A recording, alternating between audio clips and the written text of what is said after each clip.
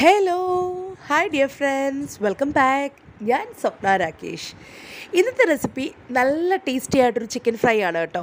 ഒരുപാട് ഓയിലൊന്നും മുങ്ങിപ്പൊരിയാതെ എന്നാൽ ചിക്കനൊക്കെ നല്ല പോലെ ഒന്ന് ഫ്രൈ ചെയ്ത് ഒത്തിരി മസാലയിലൊക്കെ ഒന്ന് കോട്ട് ചെയ്തെടുക്കുന്ന നല്ല ടേസ്റ്റി ആയിട്ടൊരു ചിക്കൻ ഫ്രൈഡ് റെസിപ്പി ആയിട്ടാണ് ഞാൻ ഇന്ന് വന്നിരിക്കുന്നത്.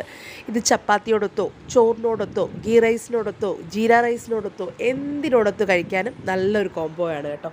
അപ്പോൾ നമുക്ക് ഈ നോക്കാം ഒരു അടിപൊളി ചിക്കൻ ഫ്രൈ വളരെ എളുപ്പം വളരെ ടേസ്റ്റി ആയിട്ട് എങ്ങനെ ഉണ്ടാക്കാമെന്ന് അപ്പോൾ റെസിപ്പിയിലോട്ട് പോകാം. ചിക്കൻ നല്ല ക്ലീൻ ആയിട്ട് വാഷ് ചെയ്യാനായിട്ട് ഒരു ടിപ്പും കൂടെ ഞാനിപ്പോൾ പറയുന്നുണ്ട്. ഈ ടിപ്പ് ഞാൻ വേറെയും റെസിപ്പീസിൽ പറഞ്ഞിട്ടുണ്ട്. ചിക്കനൊക്കെ നല്ലപോലെ കഴുകിയെടുത്തതിന് ശേഷം ഒരു മൂന്ന് ടേബിൾ സ്പൂൺ ഗോതമ്പ് മാവും കൂടെ ചേർത്തിട്ട് നല്ലപോലെ ഒന്ന് മിക്സ് ചെയ്ത് വാഷ് ചെയ്തെടുക്കുകയാണെന്നുണ്ടെങ്കിൽ ചിക്കനിൽ ഒട്ടും തന്നെ ഒളുമ്പ് മണമോ ഒന്നും കാണത്തില്ല കേട്ടോ. നല്ല ഭംഗിയായിട്ട് ചിക്കൻ ക്ലീൻ ചെയ്ത് കിട്ടും. ചിക്കന്റെ ഒരു ബാഡ് സ്മെല്ലൊക്കെ നല്ലപോലെ മാറിക്കിട്ടും വിനീഗർ ഉപയോഗിച്ച് വാഷ് ചെയ്യുന്നതിലും എഫക്റ്റീവാണ് നമ്മൾ ഈ ഗോതമ്പ് മാവ് ഉപയോഗിച്ച് വാഷ് ചെയ്യുമ്പോൾ കിട്ടുന്നത്. അപ്പോൾ എല്ലാവരും ഇതൊന്ന് ട്രൈ ചെയ്ത് നോക്കൂ. അപ്പോൾ ചിക്കനൊക്കെ ഞാൻ ഗോതമ്പ് മാവൊക്കെ ഉപയോഗിച്ച് കുറച്ച് ഉപ്പൊക്കെ ചേർത്ത് നല്ലപോലെ കഴുകി വൃത്തിയാക്കി എടുത്തിരിക്കുകയാണ്. എന്നിട്ട് വെള്ളമൊക്കെ ഡ്രെയിൻ ചെയ്യാൻ വേണ്ടിയിട്ട് ഞാനൊരു സ്ട്രെയിനറിലോട്ട് മാറ്റിക്കൊടുത്തു. ഈ ചിക്കൻ ഫ്രൈ ഉണ്ടാക്കാനായിട്ട് ഞാനിവിടെ ഒന്നര കിലോ ചിക്കനാണ് എടുത്തിരിക്കുന്നത്.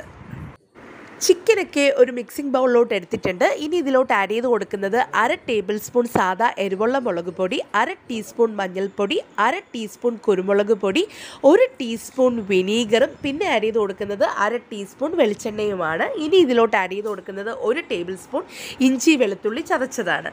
എന്നിട്ട് നല്ല പോലെ ഒന്ന് മിക്സ് ചെയ്ത് കൊടുക്കുകയാണ്.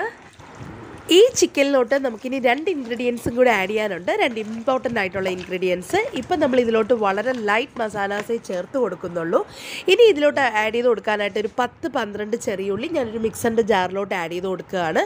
പിന്നെ ആവശ്യത്തിനുള്ള കുറച്ച് ഉപ്പും കൂടെ ചേർത്ത് കൊടുത്തിട്ട് ഇത് നല്ല ഫൈൻ പേസ്റ്റ് ആയിട്ടൊന്ന് അരച്ചെടുക്കുകയാണ്. വെള്ളമൊന്നും ചേർക്കേണ്ട.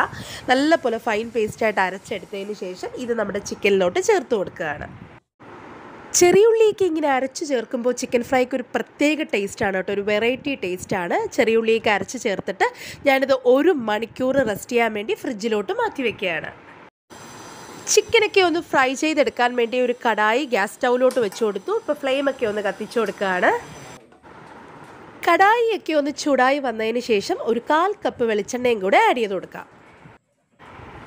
ചൂടായ എണ്ണയിലോട്ട് നമുക്ക് കുറച്ച് കറിവേപ്പിലയും കൂടെ ആഡ് ചെയ്ത് കൊടുക്കാം. കറിവേപ്പിലേക്ക് ഒന്ന് പൊട്ടാൻ തുടങ്ങുമ്പോഴത്തേക്ക് നമുക്കിതിലോട്ട് നേരത്തെ തന്നെ മാറിനേറ്റ് ചെയ്ത് വെച്ചേക്കുന്ന ചിക്കൻ പീസസ് ഒക്കെ ആഡ് ചെയ്ത് കൊടുക്കാം.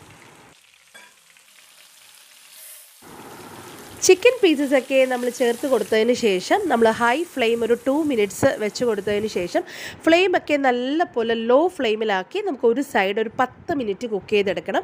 ഒരു സൈഡ് പത്ത് മിനിറ്റിന് ശേഷം നമുക്ക് തിരിച്ചിട്ട് കൊടുക്കാം. രണ്ട് സൈഡും ഒരുപോലെ കുക്ക് ചെയ്തെടുക്കണം.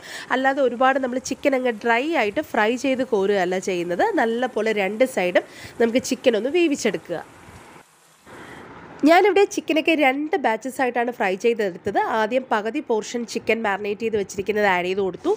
അത് വറുത്തെല്ലാം കോരിയതിന് ശേഷം അടുത്ത ബാച്ചും കൂടെ ഇതുപോലെ തന്നെ സെയിം പ്രൊസീജിയറിൽ തന്നെ വറുത്ത് കോരും കേട്ടോ.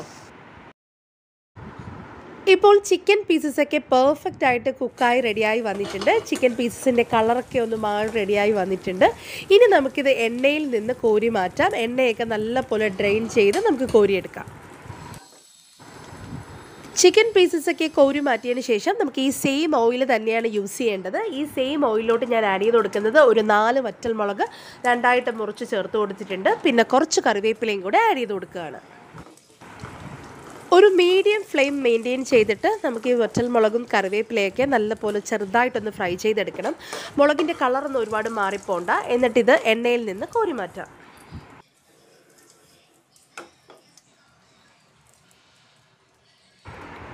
ഇനി ഈ എണ്ണയിലോട്ട് ഞാൻ ആഡ് കൊടുക്കുന്നത് രണ്ട് മീഡിയം സൈസ് സവോള ചെറിയ പീസായിട്ട് സ്ലൈസ് ചെയ്തതാണ്. അതും കൂടി ചേർത്തിട്ട് നല്ലപോലെ ഒന്ന് വയറ്റി കൊടുക്കുകയാണ്.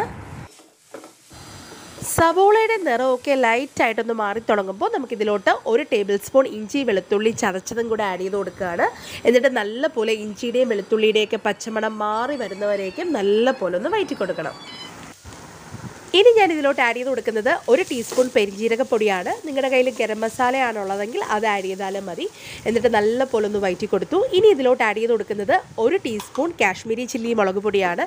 ഫ്ലെയിം നല്ല പോലെ ലോ ഫ്ലെയിമിൽ വെച്ചിട്ട് വേണം നമ്മൾ പൊടികളൊക്കെ ആഡ് ചെയ്ത് കൊടുക്കാൻ. എന്നിട്ട് കാശ്മീരി ചില്ലിയുടെയും പച്ചമണമൊക്കെ നല്ല പോലെ മാറി വരുന്നവരേക്കും നമുക്ക് നല്ല പോലെ ഒന്ന് വയറ്റി കൊടുക്കണം.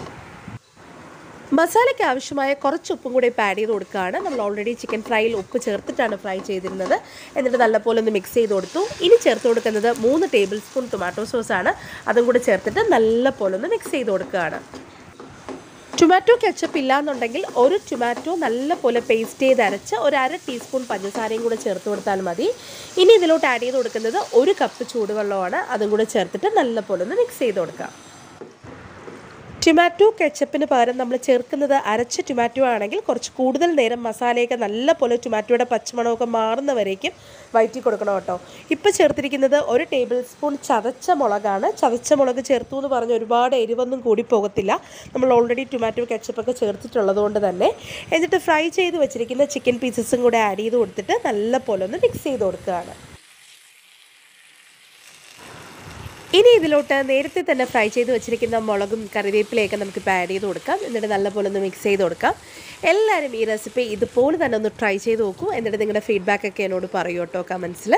ഇപ്പോൾ റെസിപ്പി ഇഷ്ടമാണെങ്കിൽ ലൈക്ക് ചെയ്യുക ചാനൽ ഇഷ്ടമാണെങ്കിൽ സബ്സ്ക്രൈബ് ചെയ്യുക. അപ്പോൾ പുതിയൊരു റെസിപ്പിയായിട്ട് ഉടൻ തന്നെ തിരിച്ചു വരുന്നതായിരിക്കും. അതുവരയ്ക്കും താങ്ക് യു ബൈ